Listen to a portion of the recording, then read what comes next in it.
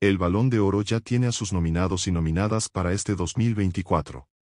Este 4 de septiembre se dio a conocer la lista de candidatos y candidatas a ganar las diferentes categorías, Mejor Jugador, Mejor Jugadora, Trofeo Copa, Equipo Varonil del Año, Equipo Femenil del Año, Trofeo Yacine, Entrenador y Entrenadora del Año. Y sin duda, la noticia a destacar es que, por primera vez desde 2003, ni Messi ni Cristiano Ronaldo están nominados para ser el mejor jugador del año. Estamos hablando del fin de una era que duró 21 años en total. Sin tanto preámbulo, aquí tienes la lista de jugadores que pelean para ser el nuevo balón de oro, el primero de la nueva era sin Messi ni Cristiano Ronaldo. Jude Bellingham. Rubén Díaz. Bill Foden. Federico Valverde. Dibu Martínez. Erling Haaland. Nico Williams. Granit Xhaka. Artem Dovbik. Tony Cruz. Vinicius. Dani Olmo. Florian Wirtz. Martín Odegaard.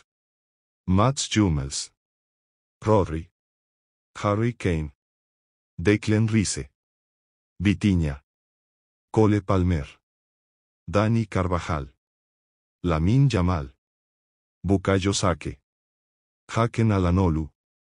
William Salibe. Kylian Mbappé. Lautaro Martínez. Ademola Looman. Alejandro Grimaldo. Antonio Rudiger.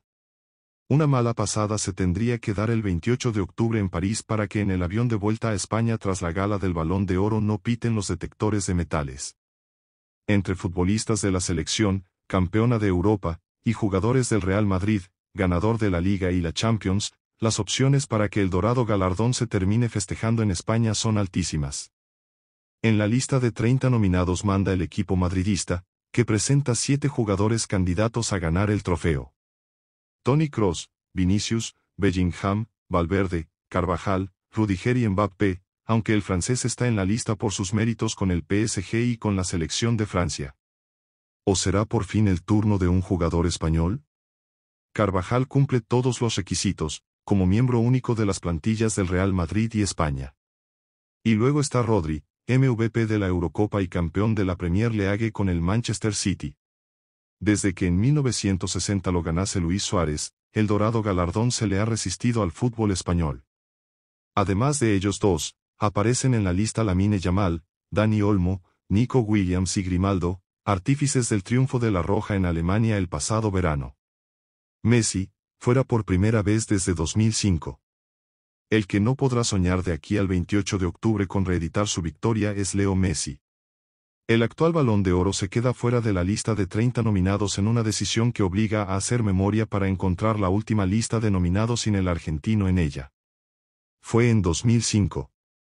Desde 2006, Leo nunca había faltado a la cita y en su estantería lucen ocho balones de oro.